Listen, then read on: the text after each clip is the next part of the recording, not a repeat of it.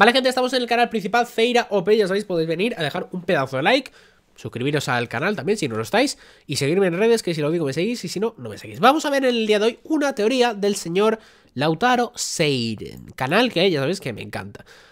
Y eh, se llama, creo que esto es un fuego artificial, ¿no? Bueno, y pone, la escena final de Wano que ahora que Oda quiere dibujar, datos sobre el Festival del Fuego.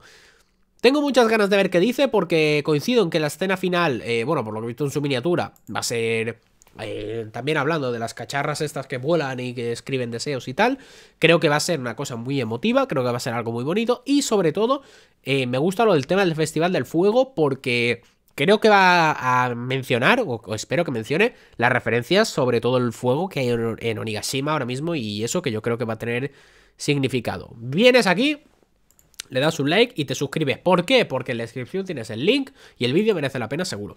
Ahora me callo, shut up y vamos a ver esto, que Lautaro es un puto crack. En su mensaje de fin de año para la Jump Festa, Eiichiro Oda reveló estar sorprendido de que el arco de Wano aún no finalizara. Aunque nosotros siempre supimos que se va por las ramas cuando dibuja. Sin embargo, por mucho que se desvíe, no importa cuántas subtramas abra casi de forma natural a medida que avanza en la historia, todos los caminos conducen a Roma. Y en la mente de Oda, Roma está muy bien definido. Sabe a dónde quiere llegar. Tiene escenas pensadas de antemano y probablemente desde que comenzó con One Piece.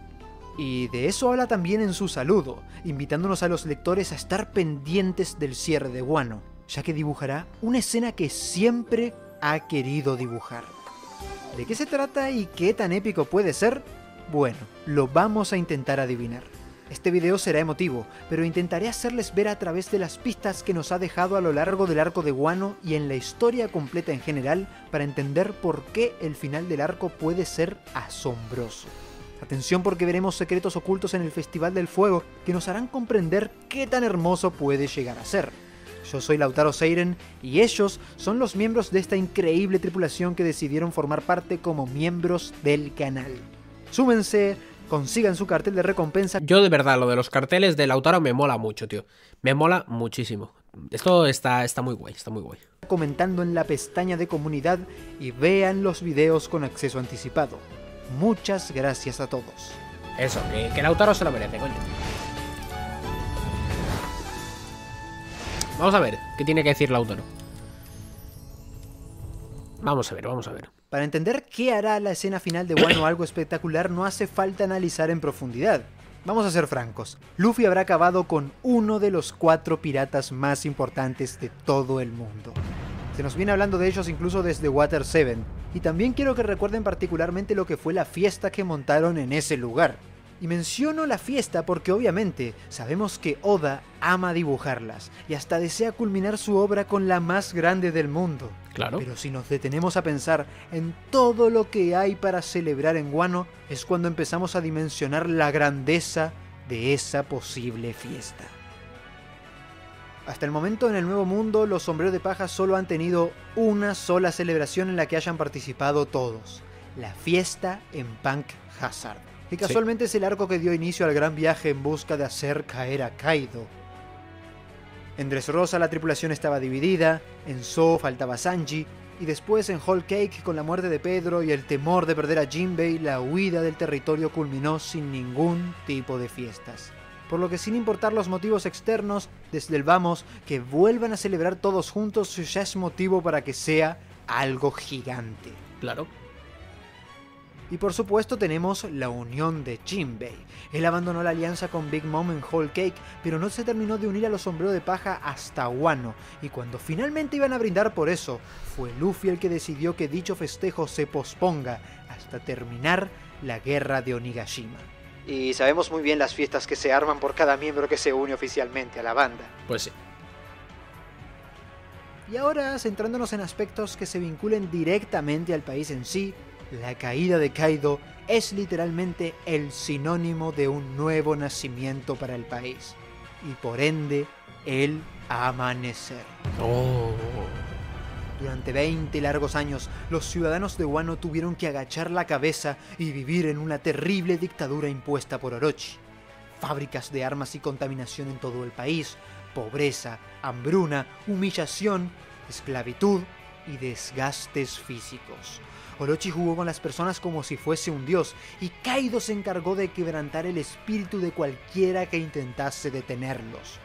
Literalmente arrancaron las esperanzas de todos. Toda la nación fue testigo de cómo el único hombre capaz de recuperar el país fue torturado frente a todos para luego simplemente ser ejecutado. Oden propuso sobrevivir una hora en aceite hirviendo para luego ser liberado. Orochi no le quitó los ojos de encima por 60 minutos, viendo cómo soportaba ser hervido vivo, para después simplemente cambiar su veredicto. Ahora vas a morir por fusilamiento. Un disparo a la frente por parte de Kaido fue suficiente para terminar con su vida. El acuerdo terminó sirviendo únicamente para sacarle las ganas a Orochi de verlo sufrir antes de morir. El clan Kosuki pareció haber desaparecido y el país se hundió en oscuridad y desesperación. A medida que Kaido aumentaba su ejército de bestias, la gente sufría más y más. Pero hoy, 20 años después, con los rumores del supuesto regreso de los fantasmas del clan Kosuki y la entrada ilegal de un pirata, más y más milagros han ocurrido a lo largo de la nación. Y una vez que Kaido caiga frente a todo el pueblo, gracias a Monkey D. Luffy, las lágrimas de felicidad de todos los ciudadanos no serán suficientes. Las falsas sonrisas que se dibujaron por culpa de las frutas Smile se convertirán en risas genuinas. La felicidad será legítima y llegará a todas las costas del país. Guano verá un amanecer que pronto abrazará a todo el mundo. Nah, es que, es que me cago en la puta, tío. O sea, poneros a pensar que todo esto, el puto Oda es lo que nos ha puesto como planteamiento de Guano. Es decir, nos ha puesto que están muy mal y nos ha puesto todo lo que ha mencionado Lautaro, que esto es la construcción del arco. Es que es una barbaridad. Es que la gente dice, no, es que el principio del arco es muy aburrido. Es que es un arco que tienen que construirte así. Es que te ha construido una puta maceta enorme para ponerte un árbol. Es que, es decir, el, Guano va a ser un árbol, tío. Va a ser una puta barbaridad. Y ahora mismo estamos empezando a ver los brotes verdes.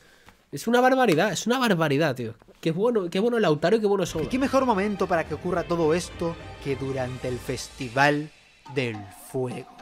Perfecto, perfecto. Me he quedado sin agua. El Festival del Fuego se realiza todos los años en el aniversario de la muerte de Oden. Es el único momento en el cual se le permite a los ciudadanos embriagarse y fingir que no hay problemas rodeándolos. Que es curioso, ¿por qué se hace esto? Quiero decir. ¿Por qué se les permite a los ciudadanos un día y en la muerte de Oden? Un poco raro, ¿no? O sea, esto, ahora, que- ahora que lo pienso, no tiene mucho sentido. Si Orochi en teoría es como un poco hijo. Bueno, un poco. Se realiza con la estúpida excusa de agradecerle a Kaido, el supuesto protector de la nación, por terminar con el mal del país. Los Kosuki. Literalmente celebran la muerte de Oden. Es por eso que la derrota de Kaido Por eso lo hacían, por eso lo hacían.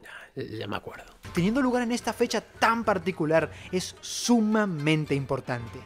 Es quizás hasta irónico para él. Se apropió de la muerte de Oden como una fecha para disfrutar, pero en esta ocasión, en este día, no verá más que sus sueños ideales y motivaciones siendo derribados por un joven pirata de la nueva generación, traído por aquellos vasallos que Oden, antes de morir, exigió no subestimar. Su nombre jamás será olvidado y en el aniversario de su muerte, Kaido caerá. Los cánticos de Es particular porque en todos los arcos de One Piece, Luffy suele vengar la muerte de personajes importantes o al menos reivindica a aquellos que fueron injustamente marginados o injuriados. Para nosotros, que nos hacen saber la verdad de la historia mucho antes, es satisfactorio ver cómo las cosas resultan positivamente, ver cómo la gente se percata de las mentiras que les hicieron creer. En este sentido, nos satisface, por ejemplo, ver a los ciudadanos de Dressrosa entendiendo que fueron engañados por Doflamingo y que Riku jamás habría querido matar a todos. Pero por supuesto, nos satisfacerá ver el sueño de Oden cumplirse, Claro. recuperar Wano.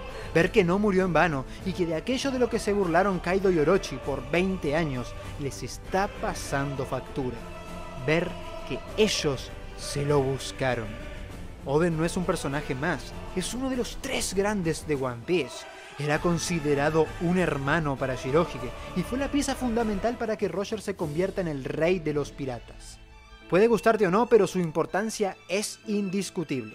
Oda nos presentó Wano, a sus personajes, a sus regiones, preparó el terreno de la guerra y esperó hasta el día del asedio a Onigashima para por fin contarnos su historia.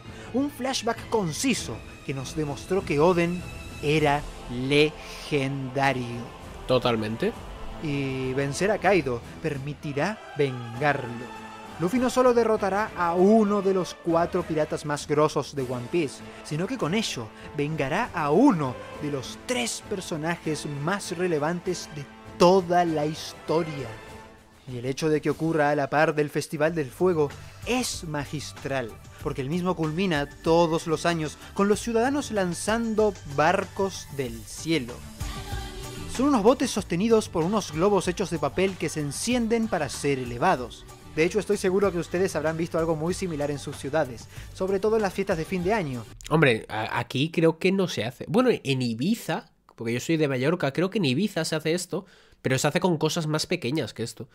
Pero eso sí que me. Ahora, ahora que caigo, sí que me suena, pero de Ibiza. Esto. Pequeños globos luminosos flotando por el ah, cielo. qué bonito esto. De ¿eh? todas formas, en Guano, estos barcos se elevan para recordar a aquellas personas que han fallecido. Todos buscan hacerlos sorprendentes, porque así más grandes serán los sentimientos transmitidos a todas aquellas personas. De hecho, muchísimos festivales japoneses suelen terminar de la misma forma o similar, con fuegos artificiales o soltando las famosas linternas resplandecientes. Y me parece que este festival tendrá su propia versión de los mismos, justamente con los barcos flotando por el cielo.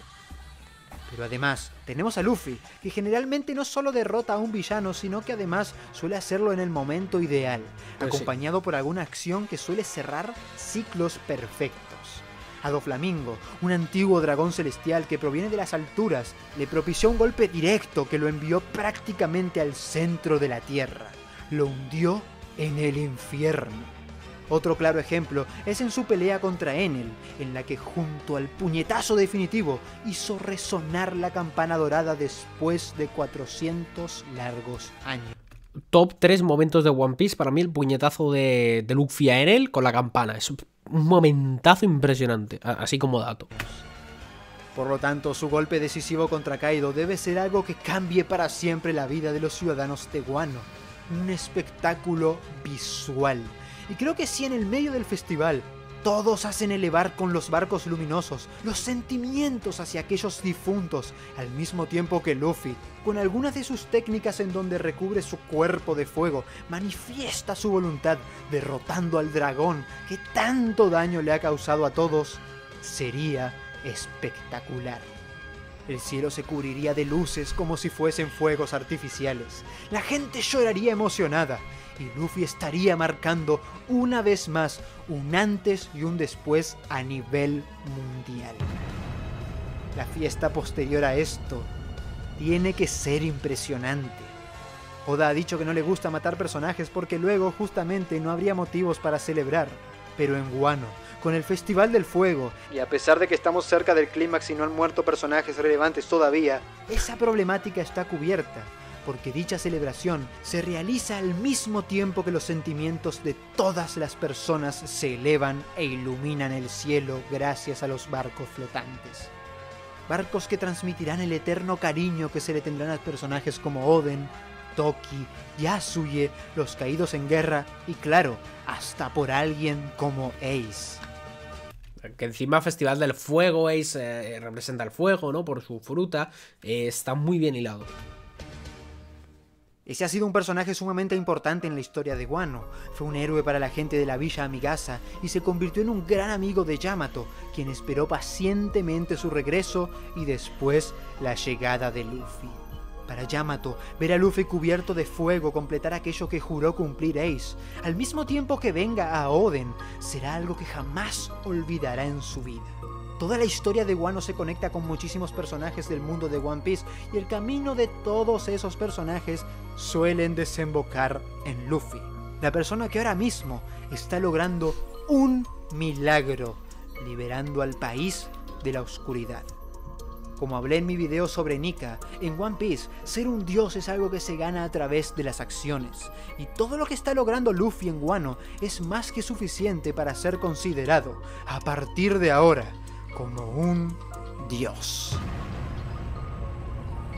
Él será de Wano habiendo hecho sonreír a toda la nación, incluido a Momonosuke, porque mientras está llevando a cabo una de las mayores fiestas de toda la historia, Momo podrá ver cómo los sombreros de paja celebran en el centro de la ciudad, haciendo el típico baile que hemos visto tantas veces a lo largo de los años, y que es prácticamente la danza de Oden.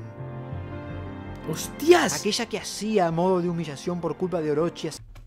No lo había pensado y tienen toda la puta razón del mundo. No, no me acordaba de eso. ¡Hostia, qué bueno! ¡Qué bueno! No me acordaba. De hecho, ahora estaba pensando.